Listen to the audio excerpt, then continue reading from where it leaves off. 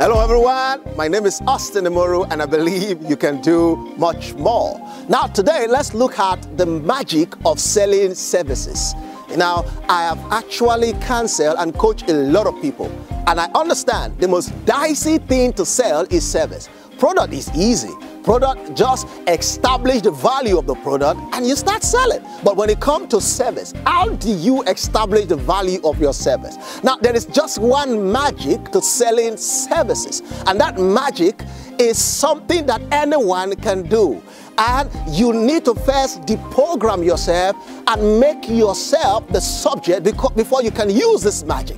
Now, I have been trying to sell service for a while until I found this magic and I understand why other people have been using it. Now, it is the magic of selling services. It opened my eyes to new stuff. You know, I've always understand that marketing is like fishing. And when you want to fish, you will need a hook, a bait, and you will need a hungry fish. Now, that is how you can fish successfully.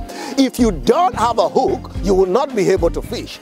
If you don't have a bait, the fish will not come to your hook. And if the fish is not hungry, my friend, you are going to put your bait and your hook for nothing. It is going to be a futile effort. I always understand this. But what I didn't get is that when you come to selling service, I did not understand who the bait should be. Now, now I know it. And I'm telling you right now, if you must sell services, the magic is you. You are the magic. You are the bait. If you don't first sell yourself, if you don't first make the your client or the public to have confidence in you, knowing that you can provide that services, they will not. They will not.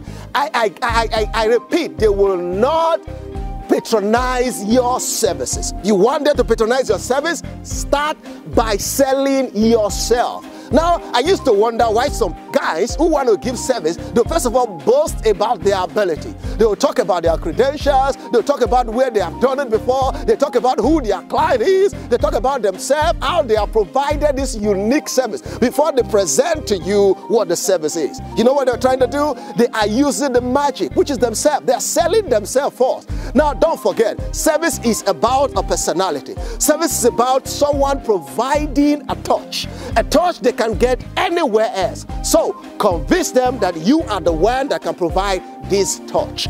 Convince them that you are qualified. Convince them that you have been doing it before. Convince them that you have all it takes. Now, let me, let, let, let, me say this to you. If you don't have confidence in yourself, how dare you ask me to have confidence in you?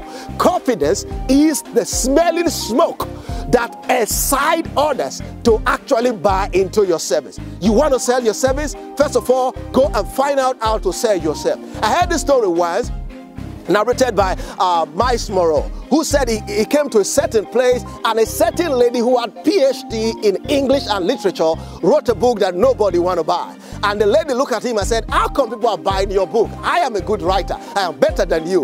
The, the, the, the, the man looked at the professor and said, sorry, professor, you are a wonderful writer, but you are not a good salesperson.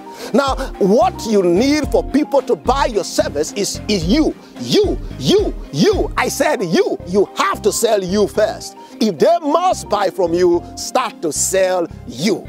So you have to be the salesman for yourself. You have to brand yourself. You have to package yourself, make yourself palatable. Like I said, you are the bait in the hook. If the bait is good, then the fish will come. That is if the fish are hungry. So I encourage you today Go and work on yourself and start to sell yourself before you sell your services. And if you do that, you employ that magic that will make you sell globally. I remain Austin Imoru, and I believe you can do much more.